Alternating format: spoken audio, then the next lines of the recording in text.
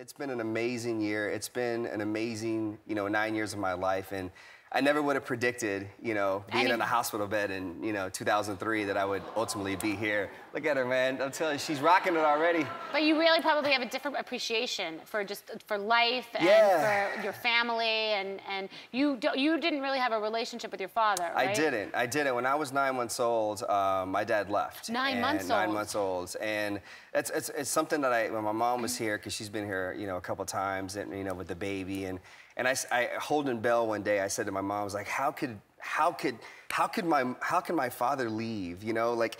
I was seven months older than she is, and how can you leave this? And that's that's just that's so hard. But you know what? Um, I, I It's I- a different mentality. There's a different, maybe a chip missing, something different. It's what people are capable of. I have the same thing as, as you. When I, when my, when you look at your children, you think about your own life. You know, I look, I look at my the baby, and I thought the same exact thing. Like, how could you? It's a baby. I mean, don't you want to be with her every minute of every day? Every day. I, I mean, I wish I could be with her, but I can't, you know, because I have to travel. But you know what? Eh, My father left at nine months old, but I just, I tell my mom, and I told my mom this when I was a kid, and I said, you know what, mom, good thing he left because, you know, you're a strong woman, and I would say that to her in my own way. Because it makes you